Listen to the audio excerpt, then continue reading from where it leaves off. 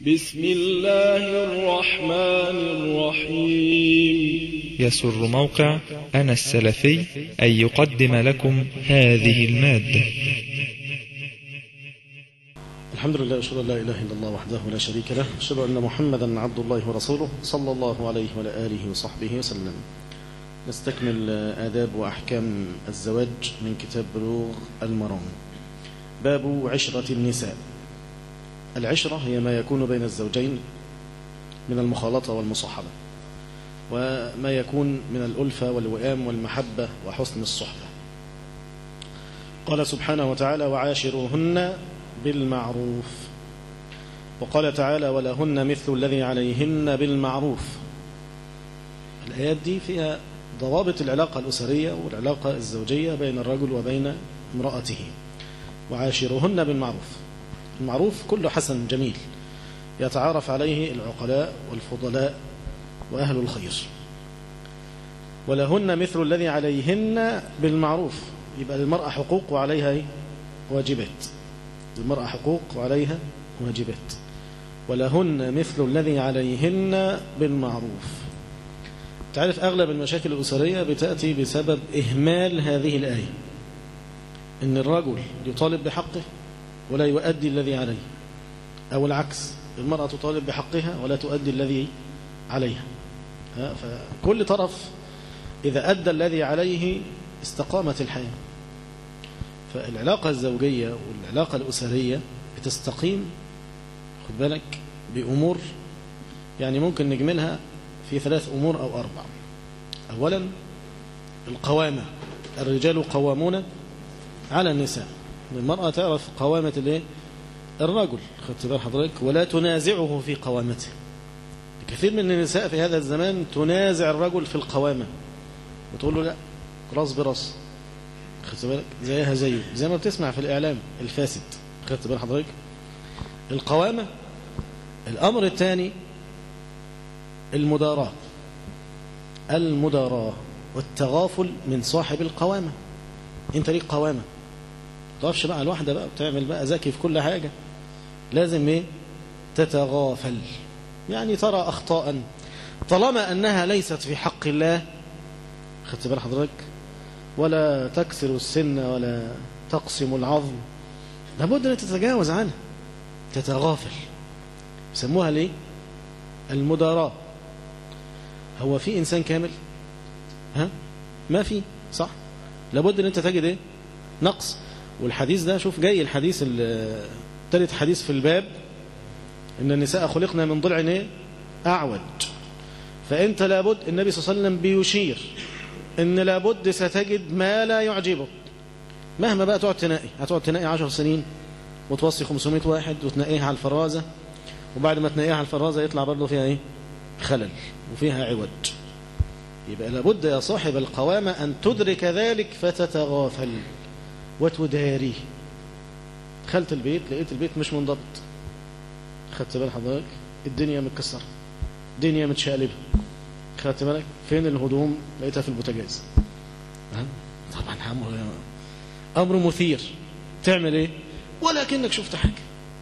كبيرة يعني من الكبائر. ها؟ كبير كبيرة من الكبائر. خلاص. تغافل.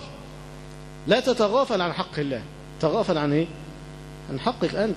إذا كان يا راجل الرب العظيم الجليل يسامح في حقه فكيف أنت لا تسامح في حقك؟ لابد يحصل نوع من إيه؟ من التغافل ومن المداراة. لا تستقيم الحياة إلا بذلك. أما كل شيء يحاسب عليه ويدقق فيه تأكد أن الحياة ستتكدر. يدخل فيها بقى النكد والهم والغم. نعوذ بالله من ذلك. خد بالك عمورة دي حاجات مهمة عمورة. أيوه. فلازم يحصل نوع من إيه من التغافل. يبقى قلنا أول حاجة القوامة ثاني حاجة المدراء. ثالث حاجة أداء الحق الذي عليك قبل أن تطالب بما لك. آه. ويأتي في الحديث برضه هنا في الباب إن الرجل سأل النبي عليه الصلاة والسلام يا رسول الله ما حق زوجة أحدنا عليه؟ شوف جميل السؤال الجميل ده. مش بيقول يا رسول الله ما حقي على زوجتي. ما أغلب الناس بتدور على كده دلوقتي. كل واحد بيدور على حقه. طب فين الحق اللي عليه؟ تفرج. خدت بالك؟ صح يا محمد؟ آه كل واحد بيدور على حقه. طيب فين الحق اللي عليك؟ هل أديته؟ دايما الشكاوى كلها بتيجي من هنا. فربنا سبحانه وتعالى قال ولهن مثل الذي عليهن بالمعروف. خدت بال حضرتك؟ يبقى ثلاث أمور. لما تطبقهم في حياتك الأسرية تسعد وترتاح. آه تسعد وترتاح. نقولهم تاني. قوامة المداراة أداء الإيه؟ الحقوق. أداء الحقوق. تؤدي الحق الذي عليك قبل أن تطالب بما لك. آه مش تطالب باللي ليك وتنسى اللي عليك. هذا لا ينبغي ولا يجوز.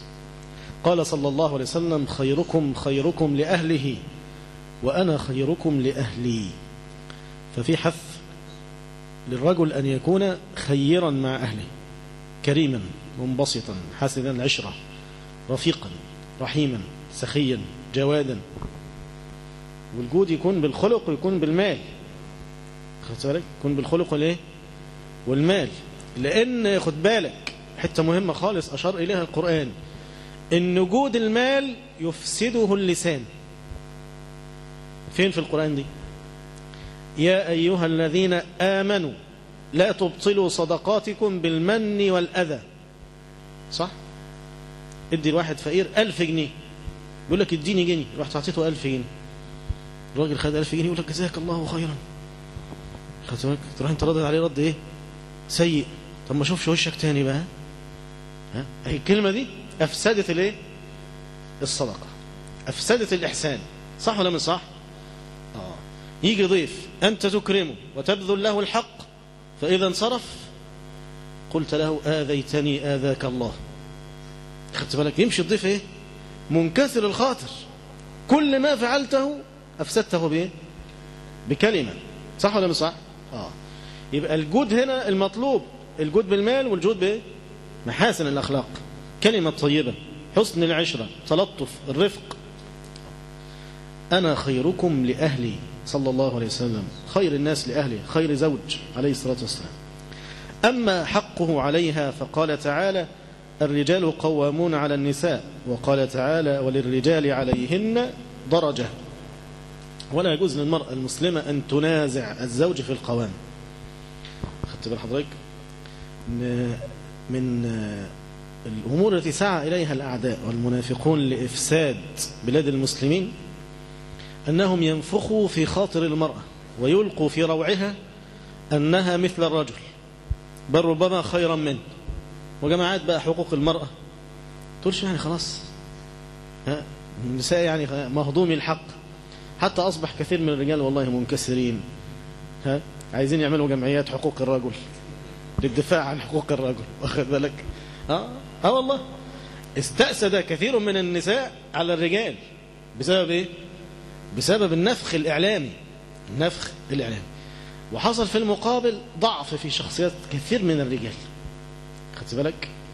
إنه لا لم يتقي الله سبحانه وتعالى لم يتعلم ما هو يجب عليه لم يتربى تربية صحيحة فتجده ضعيف. واخد بالك؟ والمرأة بقى يقعدوا ينفخوا فيها إن هي مثل الرجل وأنها وأنها. خدت بال حضرتك؟ فتنازع الرجل فين؟ في القوامة. وكثير من الرجال ينقاد لامرأته غير العاقلة. يعني يا ريتها امرأة عاقلة. آه والله.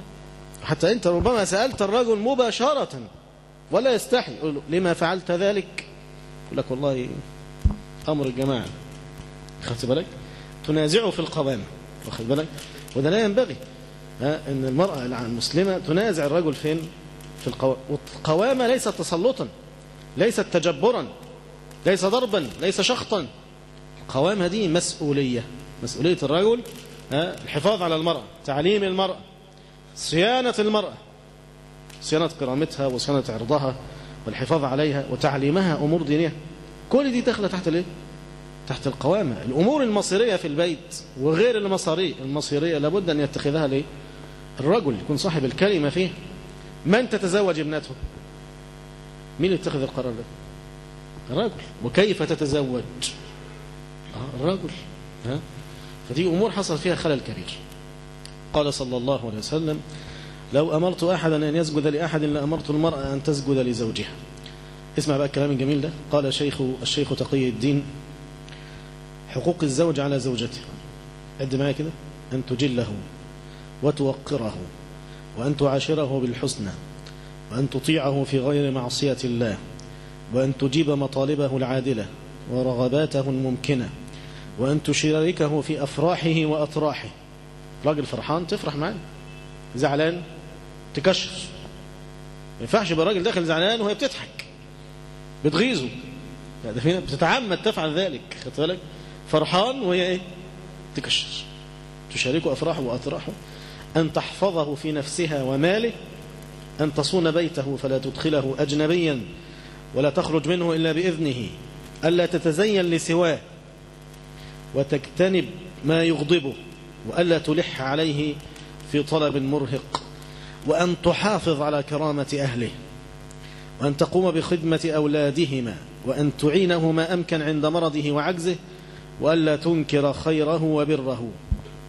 كم واحد دول؟ 15 ها 14 حق 14 حق طبعا أنت فرحان عشان أنت الرجل.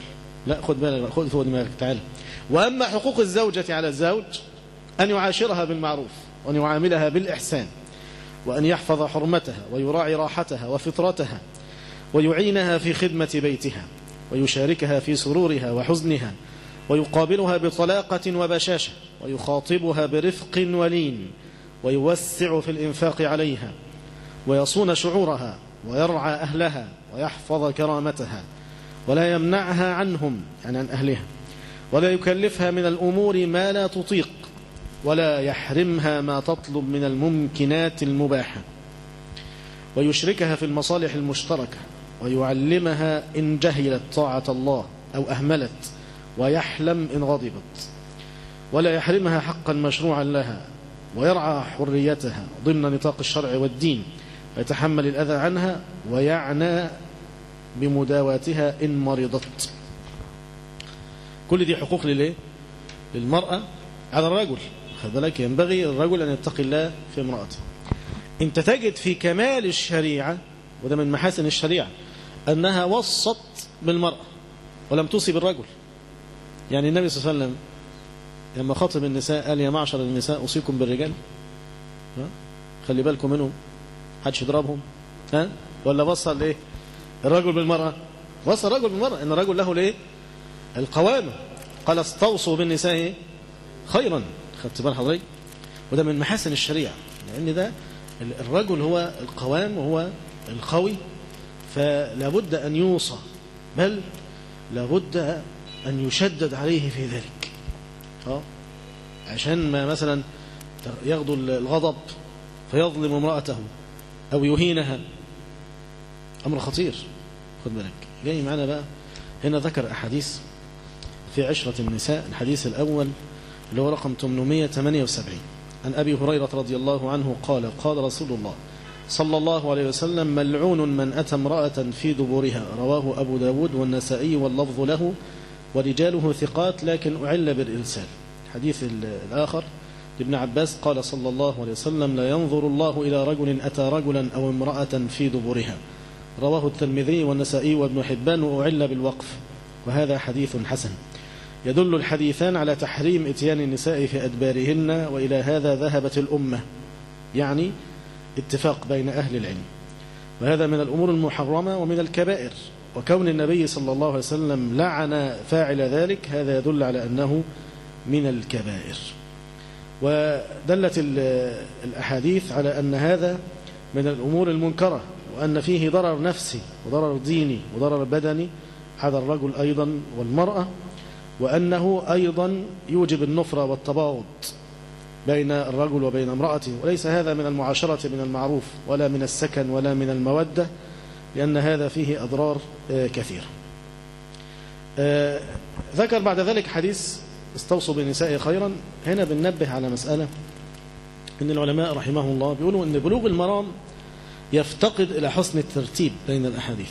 يفتقر إلى حسن الترتيب. يعني هو شوف هنا بعد ما ذكر الحديثين دول ذكر حديث من كان يؤمن بالله واليوم الآخر فلا يؤذي جاره واستوصوا بالنساء خيرا. كان المفروض يبدأ بهذا الايه بهذا الحديث. خدت بالك؟ ف لأنه هو عاد فذكر أمور المعاشرة دي بعد ذلك. فدخل الحديث دوت في النص. فده الحديث ده بدأ فيه بعدين ذكر أحاديث أخر اللي هي الوصية العامة بالنساء بعدين رجع إلى ذكر هذه الأحكام. فالعلماء لاحظوا أن بلوغ المرام افتقر إلى حسن الترتيب بين الأحاديث. قالوا لعل الإمام الحافظ ابن حجر رحمه الله يعني كتب الأحاديث ولم إيه؟ يرتبها. خد بالك؟ يعني جمعها ولم يرتبها. آه ذكر الحديث رقم 880 عن أبي هريرة رضي الله عنه عن النبي صلى الله عليه وسلم قال من كان يؤمن بالله واليوم الآخر فلا يؤذي جاره واستوصوا بالنساء خيرا فإنهن خلقن من ضلع وإن أعوج شيء من الضلع أعلاه فإن ذهبت تقيمه كسرته وإن تركته لم يزل أعوج فاستوصوا بالنساء خيرا. اتفق عليه. واللفظ للبخاري. ولمسلم فإن استمتعت بها استمتعت وبها عوج وإن ذهبت تقيمها كسرتها وكسرها طلاقها. حديث جميل خالص. في أمر الرجال بالوصية بالنساء.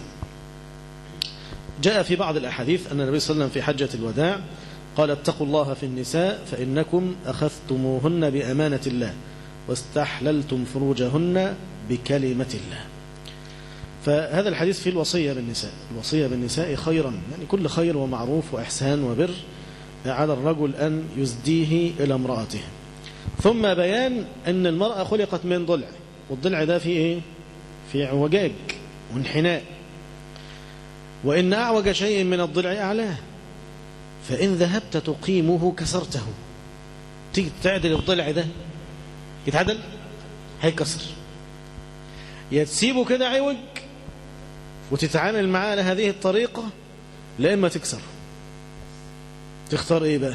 ما أنت لو كسرته ها؟ مش هتعيش مع امرأة. كل ما تيجي بقى تاخد دلع تلاقيه معوج تيجي تكسره يروح إيه؟ يكسر في إيدك. تعدله ويكسر تعدله ويكسر لا. يبقى لازم تتعامل مع الواقع. شوف الحديث الجميل ده اللي هقول لك عليه عن النبي صلى الله عليه وسلم قال لا يفرك مؤمن مؤمنة إن كره منها خلقا رضي منها آخر. كره منها خلقا رضي منها آخر. وربنا سبحانه وتعالى قال في كتابه فإن كرهتموهن فعسى أن تكرهوا شيئا ويجعل الله فيه خيرا كثيرا. كثير من الرجال يغفل هذه النقطة الهامة في الحياة الأسرية والشيطان يدخل له مضخما للمشكلة. اللي هو شايفها أو للعيب. زوجته فيها عيب معين مثلا. لا تحسن التدبير مثلا. خدت بال حضرتك لا تحسن الطبيخ مثلا. لا تحسن معاملة أهله. يخلي دي بقى كل حاجة. ويهمل مثلا إن هي امرأة مثلا ودود ولود. خدت بال حضرتك بتحافظ على البيت محبة له حريصة عليه. مش كل دي مميزات ولا إيه؟ خدت بالك انت ليه بتبص للعيب بس؟ ليه بتبص بالنضارة السوداء لا هات نضارة تانية بيضة عشان تشوف الحاجات اللي كويسة. في حاجات طيبة. فلازم تعمل نوع من الموازنة. نوع من الإنصاف. إذا كان في عيوب فهناك إيه؟ مميزات. خدت بال حضرتك؟ آه. وأنت إذا وزنت بين العيوب والمميزات استقام الأمر. أما إذا لم ترى إلا العيوب آه لم يستقم لك الأمر. ولن تعيش مع امرأتك. كل يوم بتتجوز واحدة وتطلقها كل يوم. مش هينفع أنت لا تتعامل مع الواقع. لا ترضى بما إيه؟ بما هو موجود. فهنا النبي صلى الله عليه وسلم يقول فإن ذهبت تقيمه كسرته وإن تركته لم يزل أعوج. فاستوصوا بالنساء خيرا. مرة ثانية. يبقى أمر في أول الحديث بالوصية بالنساء خيرا وفي آخر الحديث بالوصية بالنساء خيرا. وإذا كان الرجل والمسلم يجب عليه أن يحسن إلى الناس بالقول والفعل فمن باب أولى أن يحسن إلى امرأته. إذا كان الرجل يجب عليه أن يحسن إلى جاره فإن باب أولى المرأة المرأة أقرب ولا الجار المرأة ولا الصاحب المرأة ولا المسلم العام. المرأة في البيت دي ملاصقة لك. أولى الناس بالبر والإيه؟ والإحسان والتلطف. أنت بتجد بعض الرجال هاشا باشا مع أصحابه ومع إخوانه في المسجد في الشركة وفي العمل يدخل البيت صرامة بكشر. طب ليه؟ دول هؤلاء الناس أحق الناس بالإيه؟ المرأة أحق الناس بالتلطف ها؟ وبعدين المرأة تسعدها كلمة. يعني كلمة جميلة. كثير من الناس لا يحسن الكلمة الجميلة. محتاج يتعلم يا أخ محمد. محتاج يتعلم اللي يقول الكلمة الحلوة. الكلمة الجميلة. شوف كلمات الحب دي كلمات رقراقة لذيذة. ما تسألش عنها بقى ما تسألش عنها عن كلمات الحب دي. يا سلام لما تقابل واحد واحد راجل مش مش أنا أبو دق وتقول له بحبك. تخيل الراجل ده بقى كلمة بحبك دي هتحركه قد إيه وتنعشه قد إيه. بيتأثر بقى ولا بيتأثرش؟ يعني أنا بقول لك أنا بحبك. تنبسط ولا لا؟ خدت بالك؟ ما بالك بقى بالمرأة صاحبة العاطفة الرقيقة؟ لما تقول لها بحبك. انت أغلى واحدة في الدنيا. أنا لم أرى امرأة مثلك. يا حاجة كلام بفلوس. هو الكلام بفلوس. آه والله صحيح. يعني هو الكلام بفلوس. بعض الناس أو يا عم قول اتلحلح اتحرك. مش عايز يتحرك. يعني بقى يعني هو ده. يجوز. أيوه يجوز. يعني ينفع.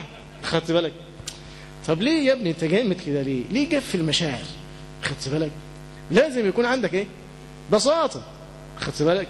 والكلمات دي لها أثر جميل جدا. طب بص حضرتك انت مش متجوز أنا عارف. جرب الموضوع ده مع والدتك النهارده. روح كده. أول ما تدخل البيت. قول لها انت أجمل أم.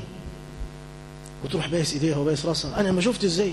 والله ليكي جميل عندي أنا مش عارف أسده إزاي. شوف الكلمتين دول هيعملوا إيه في والدتك. تبص تلاقيها يعني قلبها انشرح ووشها انبسط. يا ابني روح ربنا يكرمك ويسترك ويحفظك ويقويك ويعينك ويجعل في وشك القبول خدت بالك. خلاص. كلمتين كسبت الإيه؟ كسبت القضية. وبكلمتين تخسر القضية برضه. هم كلمتين هتخسر بيهم القضية. زي الراجل ال... الراجل الجاهل ده. زوجته بتحبني؟ ولا عايز الحقيقة؟ والله ابدا. ما حبيتكيش يوم بالله عليك. ده بني آدم ده. يعني هل ده دين؟ طب هل ده عقل؟ إن لم يكن هناك دين فهل هذا من العقل؟ أنت أنت بتكره واحد تقول له بكرهك. بعدين امرأة مناسبه ليس لك عنها غنى. يعني المسكين كمان مثلا مش مش متجوز ثلاثة أربعة. طيب خسر واحدة عنده التاني. ما عندوش هي واحدة. ولا مناصة منها ولا فرار. خدت بالك؟ ما فيش. فلازم تمشي أمورك. لازم تمشي إيه أمورك خدت بال حضرتك يا سلام عمر بن الخطاب رفع إليه قضية زي دي الصحابة تكلموا في المسألة دي. خد بالك رجل كان يطلق النساء حتى صار له في الناس أحدوثة. تزوج أكثر من امرأة وطلقها. فالناس بتتكلم. فرفع الأمر إلى عمر. خدت بالك قول له مالك انت هتطلق تتجوز تطلق في النساء ده. قال له ما ذنبي وما ذنبي يا أمير المؤمنين. انظر إلى ما يفعلن معي. قال له بيعملوا معاك إيه؟ أدخل على المرأة منهن فأقول أستحلفك بالله. هل تحبينني؟ فتقول لا تحلفني بالله. تحلفنيش بالله. ولا أقسمت عليك بالله. هل تحبينني؟ يغلظ عليه. فتقول له فأطلقها. هعمل إيه أنا هعمل إيه؟ شوف خطأ من الاثنين. يعني ممكن الراجل يكون أصلا سيء العشر. لسه ضرب مراته علقة الصبح وبعدين يجي من خمس دقائق بعد العلقة. لسه العلقة ما بردتش. ولا بتحبني؟ حب إيه بس؟ ونيلة إيه اللي جاي تقول عليه أنت بتتكلم عن إيه؟ خدت بالك؟ ده برضه ده سؤال في هذا الوقت. بعد الإساءة خدت بالك؟ وبعد الأذى. تسأل هذا السؤال. ما فيش طبعا الحب راح خلاص صار. حتى دلوقتي صار. اسأل السؤال ده في وقت إيه؟ في وقت مناسب. وإن شعرت من من المقابل أنه لا يحبك لا تسأله حتى لا تؤلم نفسك حتى لا تؤلم نفسك ويكون هو أحمق كمان يجاوبك جواب سيء ها خلاص تدمر الإيه؟ تدمرت العلاقة. فدي أمور مهمة لابد للمسلم أن يعتني بها داخلة في الوصية بالنساء والمعاشرة بالمعروف والكلمة الطيبة. شايفكم مبسوطين خالص؟ هتتجوزوا إن شاء الله الأسبوع ده. أقول قولي هذا أستغفر الله لي ولكم. سبحانك اللهم ربنا وبحمدك أشهد أن لا إله إلا أنت أستغفرك وأتوب إليك.